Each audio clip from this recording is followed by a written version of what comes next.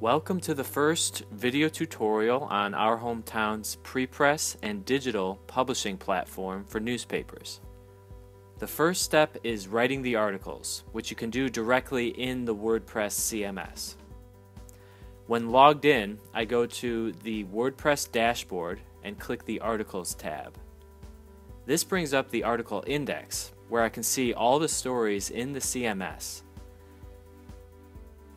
To create a new article, I can hit Add New, which brings up a blank text editor. And I'll go on to write the story here, upload images through the media library, and format for digital.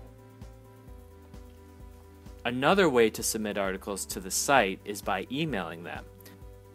I'll create an email draft, put my headline as the subject, write the article in the body, upload any images I want to include,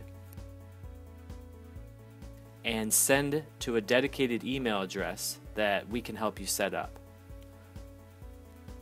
If I go back to the article index, you see the article appears as a draft and it has the headline, body, and images that I submitted. At this point, you can go live with the article or schedule it to go live in the future.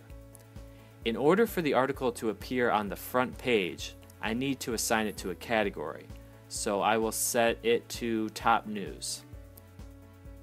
You also need to assign the article to an edition date that corresponds with the print edition. This will index the article in your archives so readers can filter by edition and you can sell single issue access. This step is not required for online only papers that don't use editions.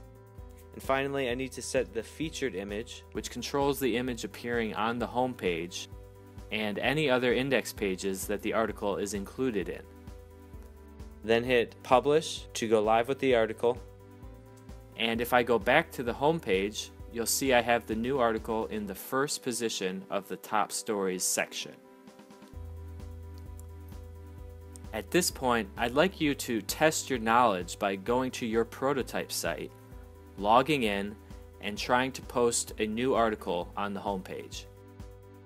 If you have any questions, contact ops at our-hometown.com for support. Thanks for watching.